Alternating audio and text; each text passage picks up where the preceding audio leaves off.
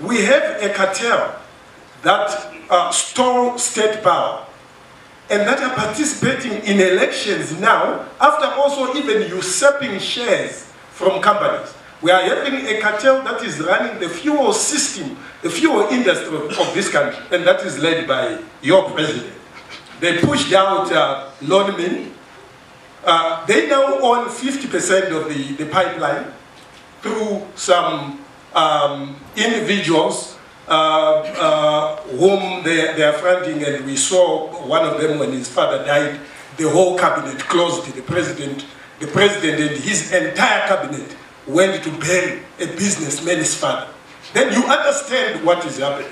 And what is happening is that we have people who stole state power. After stealing state power, they helped themselves to national assets. They helped themselves to industries. And the fuel industry is one telling example. Because after pushing out Lonmin, they now almost control 100% of the fuel uh, industry in this country. and they are using proceeds from... What about the I'm saying situation? they are using proceeds from those illicit takeover of businesses to fund their election campaigns. That's why you see no ZANU-PF candidate is even posters, my parliamentary candidates. They, they don't all you see is ED posters, even in every constituency you go. You don't see a poster belonging to a, a, a parliamentary candidate.